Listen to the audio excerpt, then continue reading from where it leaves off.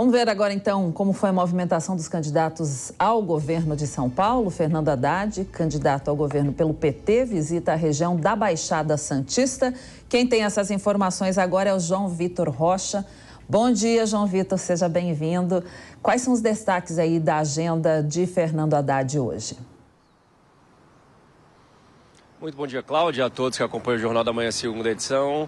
Olha só, Cláudio, depois de uma segunda noite bastante animada, né, com o Fernando Haddad participando do debate ao governo aqui de São Paulo contra Tarcísio Gomes de Freitas e trazendo principalmente temas mais nacionalizados, aquela polarização que bem sabemos entre bolsonaristas e petistas, nessa terça-feira, Fernando Haddad cumpre a agenda inteira no dia de hoje na cidade de Santos. Agora, às 10 horas da manhã, há alguns minutos, começou já uma concentração na Praça Visconde de Mauá, uma das principais pontos centrais ali da cidade de Santos, onde Fernando Haddad vai encontrar com militantes e também com movimentos sociais da esquerda e vai fazer um discurso às pessoas que estarão lá naquela praça acompanhando a sua presença. Logo na sequência, por volta de 11 horas da manhã, Fernando Haddad vai dar uma série de entrevistas para emissoras de TV e também de jornal que ficam ali na Baixada Santista. Às 3 horas da tarde, já na metade da tarde, Haddad vai ter um encontro com vereadores ali da cidade de Santos, não só vereadores de esquerda, mas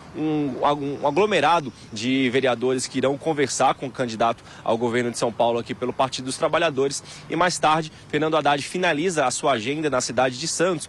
É o encontro com o prefeito lá da cidade litorânea, com Rogério Santos, que é do PSDB. A gente lembra que o Rogério ele fez uma campanha bastante forte, já que é, já que é do PSDB, bastante é, forte ao lado de Rodrigo Garcia, que também é tucano e já sinalizou esse apoio a Tarcísio Gomes de Freitas. E mesmo assim, sim o Rogério Santos vai fazer esse encontro com o Fernando Haddad, porque sabe que independente de quem ganhe a eleição é, agora do dia 31 de outubro, ele como prefeito vai precisar dialogar muito com o futuro governador, seja Tarcísio ou seja o Fernando Haddad. Cláudio.